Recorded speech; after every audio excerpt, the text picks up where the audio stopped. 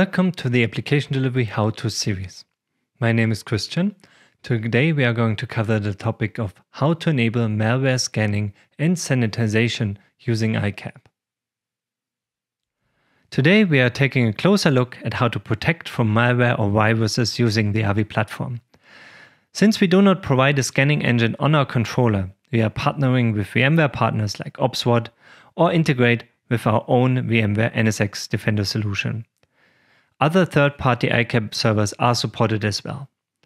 So before we look at the configuration, let me walk you through the steps that are taken when this feature is enabled. First, every request will be marked if a scan is required or not. And when that happens, it will be paused and a follow-up request is streamed to the ICAP server for validation. In our platform, we support blocking and sanitization mode. In the case an attack vector is found, Within that uploaded document, the blocking mode will report back and AVI will send a default error page.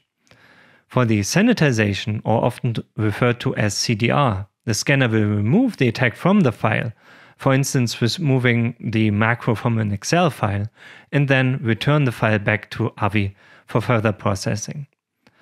Either way, the attack vector has not made it through the, the application. So let's examine how this behavior is configured and what insights the log analytics provide. So here we have our ICAP virtual service.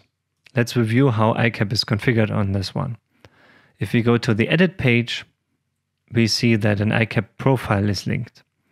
The ICAP profile contains information like a name, like the cloud it's running in, like the pool group where our ICAP servers are configured, the vendor that the ICAP server is provided by. Here it's configured with OPSWAT, but we support other ICAP vendors as well, like our VMware NSX Defender or many others. We have a service URL that we uh, configure here and a lot more uh, smaller configuration items that have uh, reasonable defaults for your installation.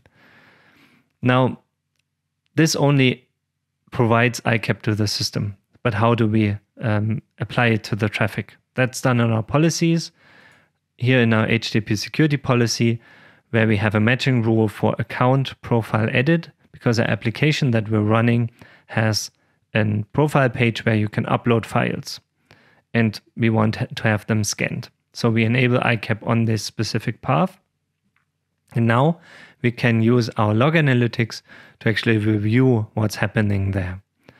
And in AVI, we have many, many analytics right there for you to get the best insights in what's going on.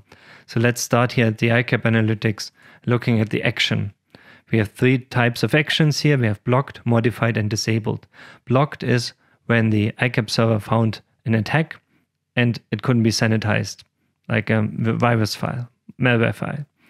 Then ICAP, you have a modified uh, file where it was able to sanitize the request, or we have disabled where we send an, or where there, there was a request sent to this specific path, but no upload was done. So the ICAP server didn't have anything to do and therefore it was disabled. So let's review one of those blocked requests. Here, let's review it. We have ICAP error request was blocked by ICAP server and we get the full detail of what was going on. The reason is infected. And if we scroll down, we find that this is actually, uh, it found the ICAP EICAR test file, which we uh, are using in this demo. And you get all the information about the request and response sent to the ICAP server and received from it. And even more, the full headers that were sent and received to even have more ability to uh, troubleshoot in case you needed to.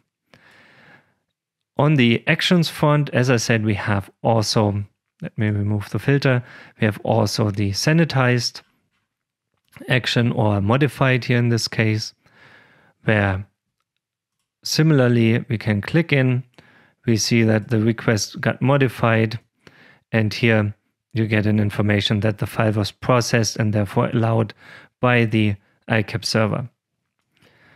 So what else do we get in analytics?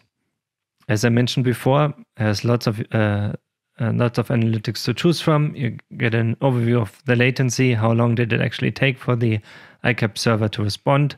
Sometimes you can uh, find anomalies here.